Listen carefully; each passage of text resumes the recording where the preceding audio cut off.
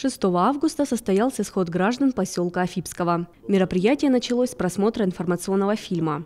С докладом о проделанной работе за прошлый год и первое полугодие текущего года выступил глава Афипского поселения Юрий Коваленко. Доходы бюджета Афипского городского поселения за первое полугодие 2021 года составили 97 миллионов 891 тысяча рублей. Расходная часть бюджета за первое полугодие 2021 года составила 76 миллионов 282 тысячи. Особое внимание в поселении уделяется ремонту дорог, водопроводных сетей, обеспечению мер пожарной безопасности и благоустройству. Планируется продолжить ремонт дорог с гравийным покрытием, для чего планируется приобретение 1200 тонн гравийно-песчаной смеси. За последние 10 лет отремонтировано более 67 километров водопроводных сетей.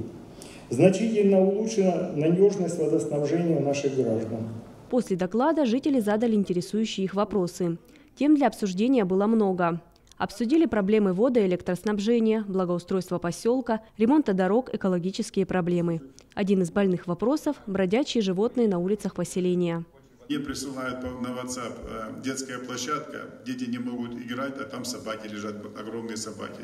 На территории значит, э, школы заходят собаки. То есть это тема номер один. На самом деле вот через 25 дней начнется новый учебный год, вот, а сейчас темнеет уже уже потихоньку быстрее темнеет, значит, и родители боятся за своих детей, не только родители, взрослые боятся ходить пешком, там, где есть такие бродячие собаки. Поэтому вопрос на контроль, на, на, на контроль нужно взять и предпринимать необходимые меры. На контроль были взяты и все остальные вопросы граждан. Глава района поблагодарил администрацию поселения за плодотворную работу. Хочу сказать вам, вашей команде, Значит, э, огромное спасибо за работу, за стабильность, которая сегодня в Афипском поселении. А самое главное, что вы держите руку на пульсе и знаете проблемы и нужды людей. Благодарственными письмами наградили жителей поселения, которые помогали пострадавшим от наводнения 5 июля.